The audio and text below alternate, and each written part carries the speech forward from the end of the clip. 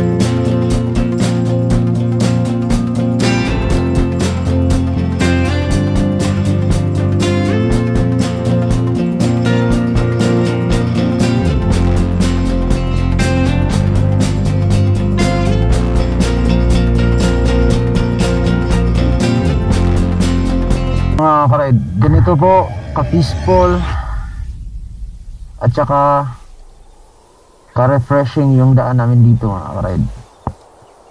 Yan po yung laruan namin dito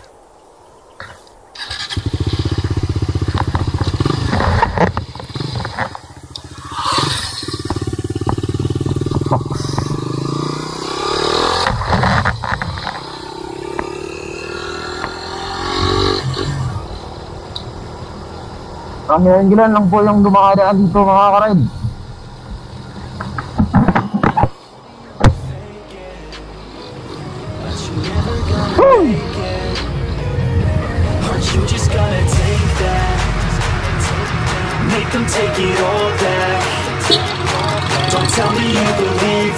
Yun.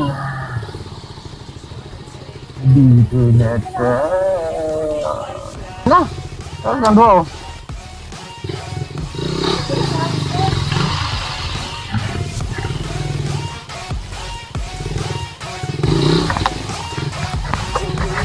ka ba?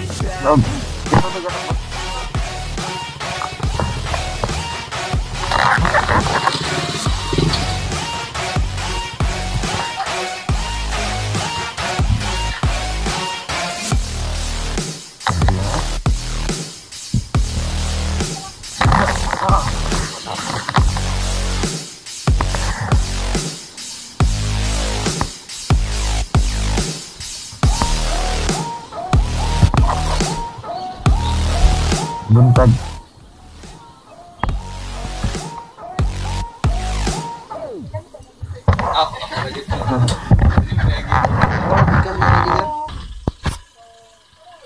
Oh. Ayan po mga red. Nabigyan na po natin yung jacket na gusto nating bilhin. So, sa kasalukuyan po tayo ngayon nandito sa tindahan ni Sir Rider Shield. Ayan, marami po silang paninda. Marami silang bago ngayon. Punong-puno yung tindahan. Ayan, maraming customer. Ayan. Si ma'am, yung misis ni Sir. So, suot na po natin yung gusto nating bilhin na jacket. Matagal na. Ayan, dito na. Tapos dito natin yan nabili dito sa tindahan ni Sir Rider Shield. Ayan. Yung tindahan nila ni Sir. Ayan. Rider Shield. So marami pa silang dating ngayon mga karide. Marami pa silang dating ngayon ng mga helmets, jackets, pants, gloves, boots, at marami pang iba. So ayan, tara na. Ayan mga ka-ride, this is a video continuation to our trip to Dipolog. So ito na po yung items na kinuha natin doon sa Dipolog. Actually, dalawa lang po yung binili natin doon. Ito, ah, riding jacket at saka itong riding boots na Kumini. Kung nakikita nyo po, ayan, Kumini po yan. Ayan. So siguro, itatanong nyo po mga ka-ride, o bakit ko po to binili, itong boots na to. If you can still remember, meron po akong video dati na ina-upload dito sa channel ko. Sinabi ko po doon na instead of buying this kind of boots pang ride, ay ito yung binili ko. Ito. Kung naaalala nyo pa mga ka-ride. I think this is mag 2 years na ata to. Ito yung ginamit po nating pang ride. Alam ko po mga ka-ride, hindi po to actually pang ride na boots, but this will do. Pwede na po itong pang ride. Kasi yung inahabol lang po natin kasi, or we are aftering to safety. Safety lang po kasi yung uh, ina-after natin. Bakit po tayo gumagamit ng mga ganitong klaseng gear habang nagra-ride po tayo. Inisip ko, pag ito yung sinusuot ko, safety pa rin ako kasi nga uh, pure leather po to mga kared. Matigas po to. Matigas. Hindi po to basta-basta na uh, flex basta-basta. Ayan. But, habang ginagamit ko po to mga karide, later, na found out ko po, nagmamarka or nagbabakas yung transmission lever dito sa sapatos. Ayan, parang kumikintab po siya. Indication po yan na dyan po palaging tumatama yung uh, yung lever nga, yung transmission lever ng motor. So, I am worrying baka pagdating ng panahon baka mabutas to, sayang naman. Kasi gaya ng sinabi ko po doon sa previous ko na vlog, ito kasi yung gusto ko sana kasi nga yun na nga sinabi ko doon sa inyo na idol ko po yun si Rock Bagoros. Kung nakikita niyo po mga karide, yung mga sapatos na suot niyo mga karide, bihira lang talaga siya nagsusuot ng riding boots. Usually, ang sinusuot po ni Rock is sneakers, leader sneakers. Uh, sneakers lang po yung sinusuot niya. Alam ko po, sneaker na pang ride. Compared dito, hindi po to actually pang ride. Uh, wala lang, hindi lang po talaga to pang ride. But gusto ko sa, kasi yung disenyo niya. Kaya ito yung ginamit ko. At wala rin po akong nakikita dito sa malapit na pang ride talaga na ganito yung itsura. Kaya ito yung ginamit ko. Gaya nga ng sinabi ko, meron po siyang bakas dito ng transmission lever. Kaya, napag-isipan ko na bumili ng ganito. Ayan. Ito, sinusuot ko po to dito. So, ayan. Ito po yung binili natin. Ayan. Susuot natin ha. Para makita nyo. Para magkaroon kayo ng idea. So, ganito. Pag ginagamit to ganito. Ganyan. Tapos, ito. Strap mo lang dito sa shoelace. Para hindi po siya basta-basta natatanggal. Yan. Ganyan. Tapos, hinihigpitan dito. Gilid. Ganon. Para yung transmission lever dito tatama. Hindi na diretso dito sa mismong sapatos. But, later on, natatanggal po siya kalaunan. Lalong lalo na pag medyo may kalayuan po yung ride. Natatanggal po siyang ganyan. So, ayaw ko sa kanya. Kaya, dumating talaga yung pagkakataon o yung panahon na mag-decide tayo na ganito na yung susutin natin. Kasi, di hamak na mas safety din naman to compared dito pag ride na talaga yung pag-usapan. Lalong lalo na pag long ride. Kaya ito yung binili natin. So, dito sa amin, sa lugar namin, wala po tayong Casco Market dito. But, kahit na wala tayong Casco Market dito, meron din naman po tayong Rider Shield. Rider Shield lang po sa Kalam. Ayan. So, itong lahat, so nakikita nyo po kanina sa video natin, kay Rider Shield po natin to kinuha. Ito. So, meron silang tatlong sapatos doon, or riding boots. Meron silang speed, meron silang duhan, at saka itong uh, kumini. So, ito yung pinili natin. Minimalist lang po kasi tayo. Ayan. So, hindi na siya masyadong OA. Meron lang po siyang slider sa gilid. Isa po yan sa dahilan kung bakit tayo kumuha ng riding boots talaga. Kasi yung riding boots, meron po siyang slider dito sa gilid. Mahirap na pag ito, pag tumama ito sa kalsada, madali lang po itong natutuklap. Hindi gaya dito na meron po siyang protector. Ito, ayan. Kasi pag nagbabangking po tayo, sasayad po kasi minsan yung tip ng 2 natin. Kaya yun po yung function nito. Tapos, ayan, meron po siyang slider, protection. Tapos dito sa likod rin meron, matigas siya, hindi siya madadaling natutuklap or na flex. Ayan, for protection dun sa ankle natin. Ayan, dalawa. Actually, nagamit na natin to. Mula di pulog, ginamit na natin to. Isusot ko na lang po mga ka-ride para at least makita nyo. Ma-visualize nyo po kahit na hindi pa kayo nakabili at saka hindi nyo po nakita in person. At least dito sa vlog na to, dito sa video na to, kikita nyo po, ma-visualize nyo po kung gaano to kahaba at anong itsura pag sinusot ito. Ayan. Susot natin. So, ayan. Open. Naka-velcro lang. Open yung zipper sa gilid. Anong medyas-medyas yan. Wala nang sak. Nandiretso na. So, yun. Close lang yung zipper. Ganon. Close ganon. Ganon, ganon lang kasimple mga karat. Ayan. So, ayan po mga karat. So, mula sa lupa, pag sinusot natin, ganito yung tsura. Hanggang dito lang, sa scout. Ayan. Itong itsura sa harapan. Ayan, sa gilid. Tsaka sa kabilang gilid. Ayan.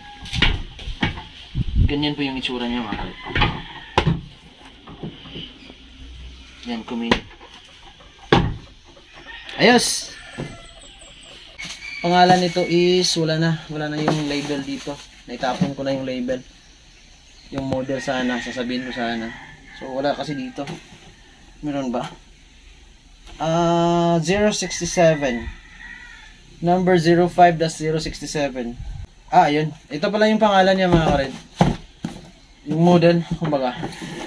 Paki, ano na lang. Focus na lang na. So, ayan. Nakikita nyo po mga kared. Ayan.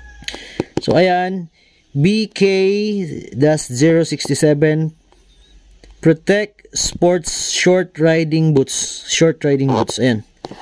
Hope nakikita nyo po. Here in the Philippines, yung price niya po, mga karide, is... Ma! Magkano tong boots, ma? 3,500? 3,500. Tapos, sa exact price na yun, ma. 3,700 pero binigay ng 3,500. So, ayun. So, sabi ni CIC, kasi CIC kasi yung may alam. Kasi siya yung bumabayad. siya yung major sponsor natin. Ever since. So, sabi niya, binibenta po to ng 3,900 something. But kasi nga, ganun tayong ah, tawag na ito, discount. Kasi nga, kaibigan natin yung mayari. So, binigay na lang ng 3,500 sa atin. So, 3,500 for the boots. I think medyo mataas-taas na rin or mahaba na rin yung itong vlog natin. So, this one, itong jacket, gagawa na lang po ako ng separate video for this jacket mga karet. Para hindi na masyadong hahaba po itong vlog natin. Hopefully ay aabangan nyo po, papanoorin nyo rin po yung video natin patungkol sa jacket na to. Kasi, ah interesting kasi po itong jacket na to. Kasi meron tong special feature mga karet. So, ayan, dito ko na lang po tatapusin itong video for this trip to Dipolog buying this stuff. So, thank you for watching mga karide. See you sa next vlog po natin. Maraming salamat. Thanks for the support.